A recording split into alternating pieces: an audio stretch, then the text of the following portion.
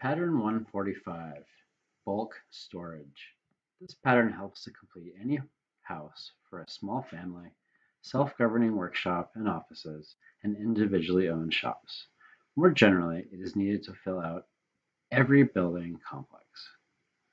In houses and workplaces, there is always some need for bulk storage, a place for things like suitcases, old furniture, old tires, files, boxes, all things which you're not ready to throw away and not used every day.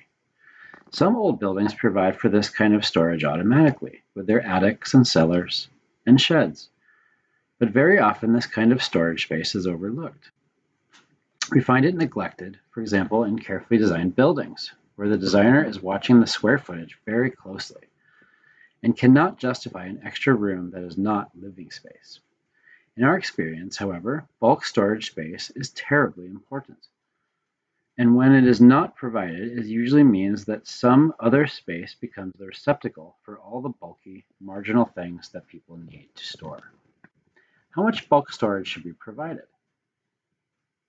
Certainly there should not be too much of it. That only leaves it to keep old things that we have long since finished with, called junk.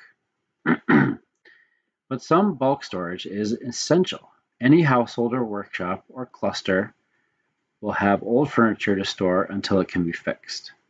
All old tires, books, chests, tools that are not only occasionally used, and the more self-sufficient the household is, the more space is needed. In the extreme case, it is even necessary to have space for storing building materials.